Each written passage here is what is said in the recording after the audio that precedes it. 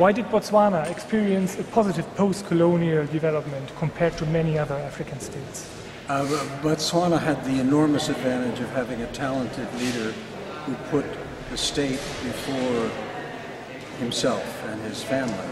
And so Seretse Khama uh, really thought through the problems of democratization and uh, growth and decided the only way forward was to have a leadership responsive to the people and a leadership which focused really on uh, gradually improving Botswana's potential in the world.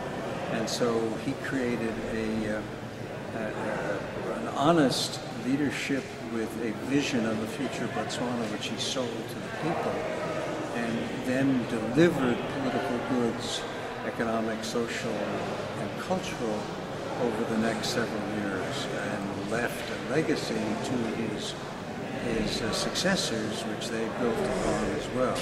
And so the Botswana today has sound institutions and uh, Afri mainland Africa's only uh, in, in, enduring democracy. So that's the contribution Seretse Khama made to Botswana and to Africa.